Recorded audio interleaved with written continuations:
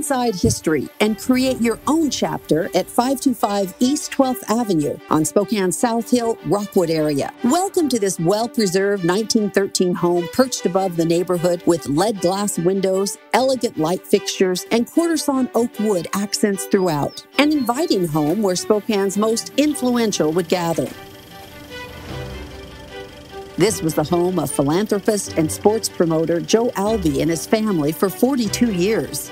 Since then, a new family has preserved its history. On the Spokane Register of Historic Places and National Register, it is a charming house with all the conveniences of today's living. A huge gaslit wood burning fireplace is a focal point for family gatherings, and it's easy to light. It's adjacent to this magnificent formal dining room with stunning woodwork, a built in hutch, and a dining area big enough for large sit down dinners. The kitchen has top of the line appliances, a new tile floor, an extensive pantry and cupboards with lots of storage and easy access. Nearby, another main floor living room, a spot to unwind from a busy day. It's full of beautiful windows with northerly exposures and access to a comfortable deck. The den has a built in desk and bookcases with beautiful oak throughout and French doors leading to a massive wraparound front porch.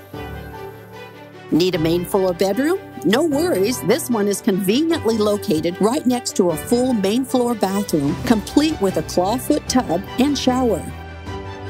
Upstairs sits the large master bedroom and a dressing area with lots of cabinets. Down the hall, three bedrooms, so you have lots of options. This house is bigger than it looks 4,300 square feet.